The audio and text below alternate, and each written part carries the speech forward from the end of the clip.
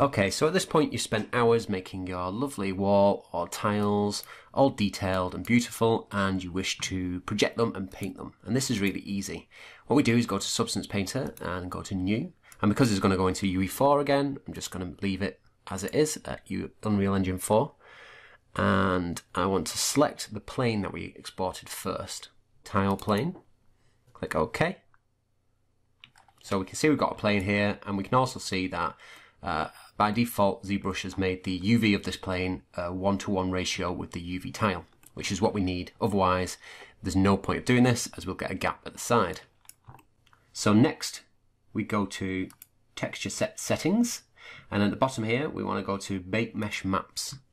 And in bake mesh maps, the first thing we want to do is load in our high poly mesh. So here in common, we can go to high definition meshes, select this little tab here, and find the uh, high poly mesh that we exported and that will load in there okay?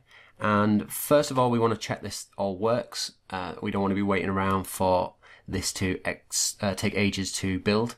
So I'm going to set this to 512 and I'm going to leave everything else like anti-aliasing off and just bake that. So we can see nothing's appeared so we need to have a little investigation to see why that is. So I'm going to go back to bake mesh maps here and the first thing I'm going to do is make sure that I've definitely imported the right one. Yep, tile HP. And I'm going to increase the max rear distance and the max frontal distance by just a little bit. And I'm going to try to bake that again. There you go, and you can see it's now appeared on the screen. Okay, so this what this is actually doing, it's changing the size of the cage, which is the projection cage around the plane. And obviously the plane is very thin, so that projection cage isn't very far anyway. And in ZBrush, we moved that plane quite far in front of the actual bricks that we want to project. So again, we can see that not all the br bricks are projected properly. So I'm going to increase this a bit more and bake that again. And we can see the rest of our details have now appeared. Okay, so looking at this, I can't see any errors. Everything looks quite neat. So I can increase the settings of my baking settings now. Uh, so I'm going to go here and go to 2K. And in anti-aliasing, I'm going to turn this to 4x4. And that's all I'm going to change. I think that should be fine for now. So as you can see, uh, keeping the overall settings low at first allowed me to quickly create bakes and uh, look for errors before finally setting everything to as high as possible. This just saves time because sometimes you might need to rebake this six or seven times or even more. So um, little time saving efforts like that really, really help. Right, so baking's now finished and I'm pretty pleased with how this has turned out. So it's time to add some materials to this. Now this is a stylized material, so it's going to be pretty simple. And you might wish to do this in different ways, but I'll show you my technique for creating uh, simple stylized materials in ZBrush. So first of all, I'm just going to add uh, another blank layer above this. And on that layer, I'm going to add a fill. And that fill is going to just have color, uh, metallic, roughness, and color. And this is going to be my base layer. And I want this to be um, a grey to match the rocks. And I'm just going to add a slight tint to it as well a slight blue tint. Only very subtle.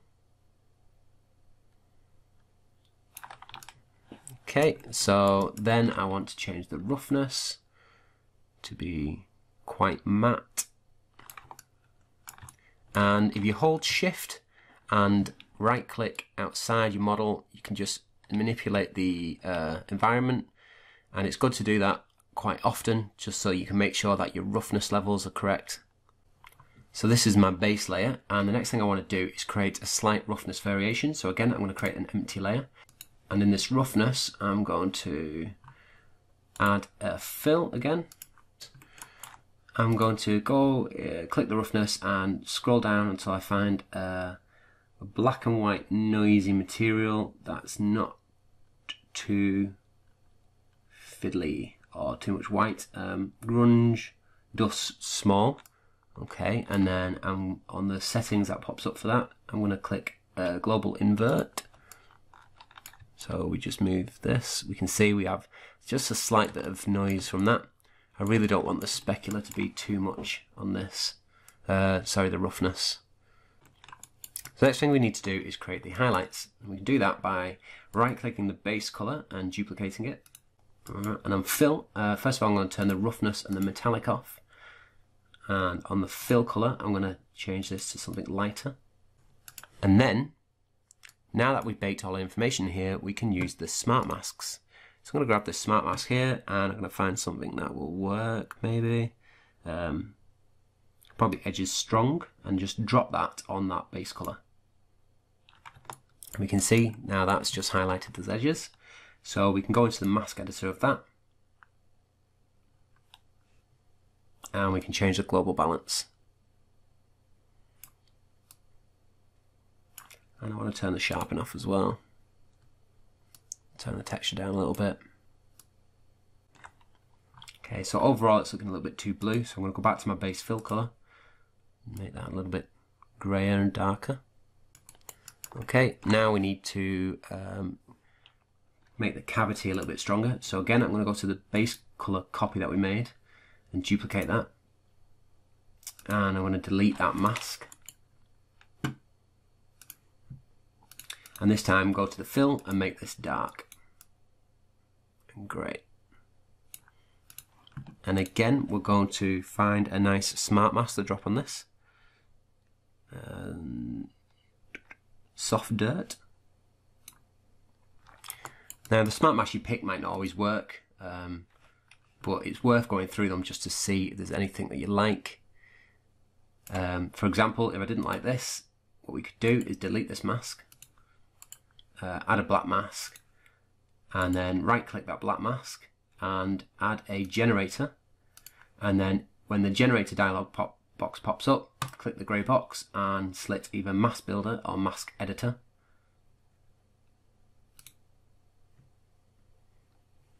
And we can see this generates a um, standard uh, mask that has a lot of different settings.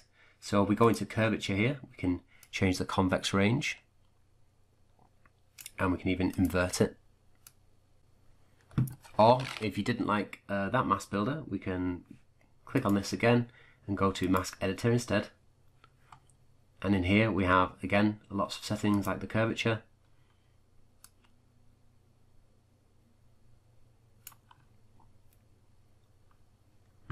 And we can change this from mode in the curvature to cavities and then change the uh, different sizes of the cavities here that are affected.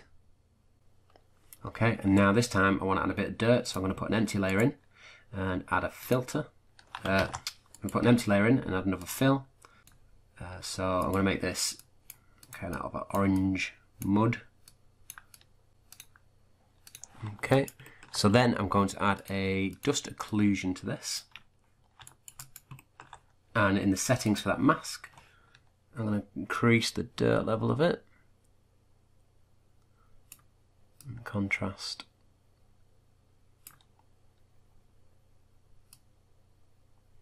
And change the grunge amount just a little bit.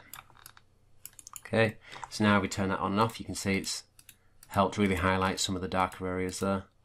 Some of the um, the, the, the various shapes there. And then I'm going to add a blur as well, just to knock a little bit of that granular noise back. So right click that um, black and white uh, mask, add filter, and then the filter I'm going to select blur and just increase that just a little tiny bit. Okay. And again I'm going to come back to my base colour and just mm, change that a little bit, make it a bit darker. Alright, and next I'm going to duplicate this base colour and make it a little bit darker and more saturated. And then I'm going to add a black mask to this and just paint out a few of these bricks just to add some colour variation to them. And to do that, I'm going to right click that black mask and add paint. Uh, and in my brush settings, I make sure that's white and just paint out some of these bricks.